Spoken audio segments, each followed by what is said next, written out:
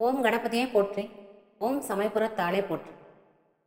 வணக்கம் ஃப்ரெண்ட்ஸ் நாம் இன்னைக்கு இந்த பதிவில் நவராத்திரி ஒன்பது நாளும் அம்பாளுக்கு படைக்கக்கூடிய ஒன்பது விதமான நைவேத்தியங்களை பற்றி பார்க்கலாம். நவராத்திரி முதல் நாள் அம்பாளுக்கு பெண் பொங்கல் அல்லது புளியோதரை நைவேத்தியமாக படைக்கலாம். நவராத்திரி இரண்டாவது நாள் சர்க்கரை பொங்கல் நெய்வேத்தியமாக படைக்கலாம். நவராத்திரி மூன்றாவது நாள் தயிர் சாதம் நெய்வேத்தியமாக படைக்கலாம்.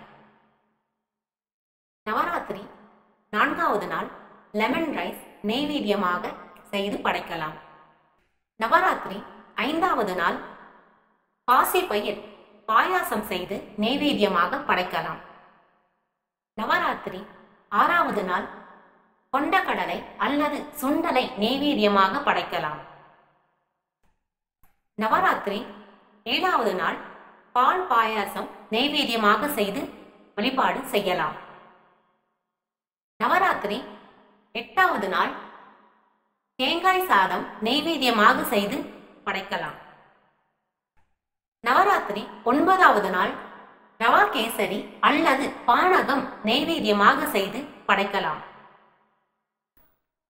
இந்த பதிவு உங்களுக்கு பிடிச்சிருந்ததுன்னா லைக் பண்ணுங்க ஷேர் பண்ணுங்க சேனலை சப்ஸ்கிரைப் பண்ணுங்க. மீண்டும் ஒரு நல்ல பதிவோடு உங்களை நான் சந்திக்கிறேன். அதுவரை நன்றி வணக்கம்.